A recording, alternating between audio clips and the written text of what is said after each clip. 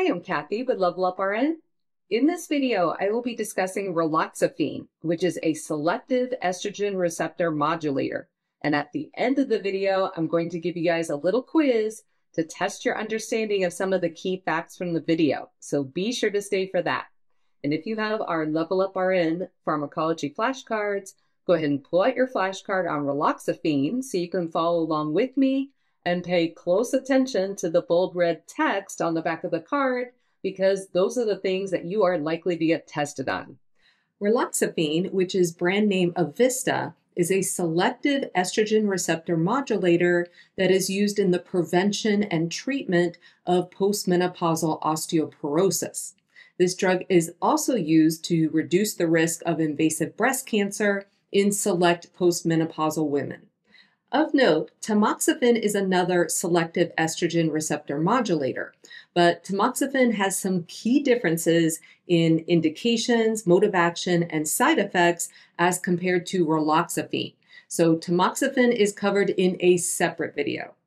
In terms of raloxifene's mode of action, raloxifene binds to estrogen receptors in the bone, acting as an agonist.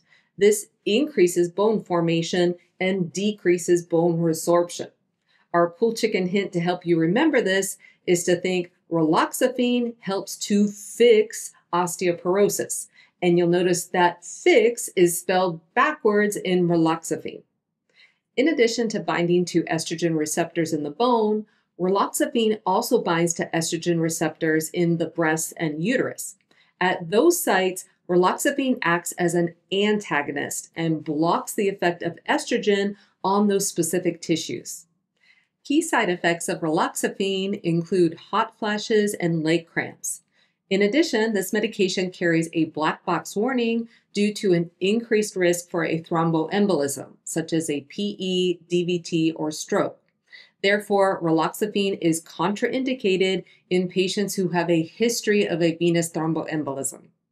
During therapy with raloxifene, the patient's bone density should be monitored in order to evaluate treatment effectiveness. In terms of patient teaching, you should advise your patient to immediately report any signs and symptoms of a thromboembolism.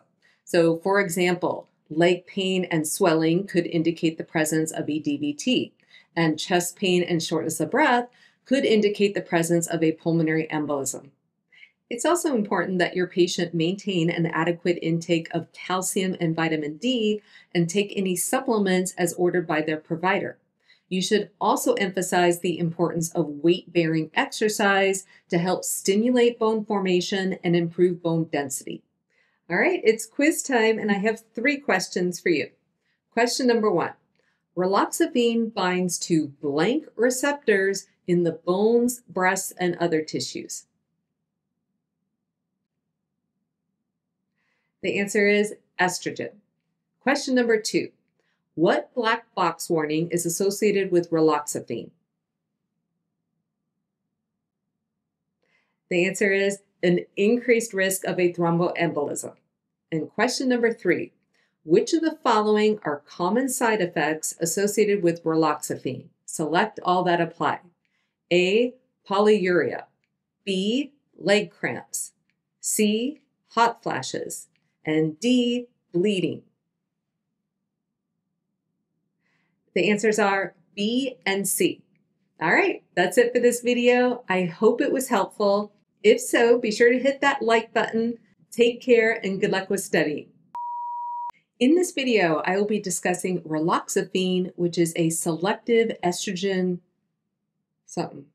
Raloxifene also binds to, re- to we invite you to subscribe to our channel and share a link with your classmates and friends in nursing school.